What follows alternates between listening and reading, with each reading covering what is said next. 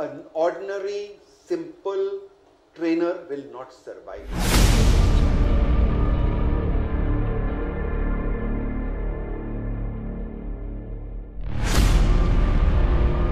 strongly suggest you that you must attend. Tightly gone into our heart. We are superbly impressed. Normal conventional training which worked 20 years back, 10 years back will not work now. Unless you upscale yourself, unless you come up to the requirement of the industry, passion. Convert your passion into your profession.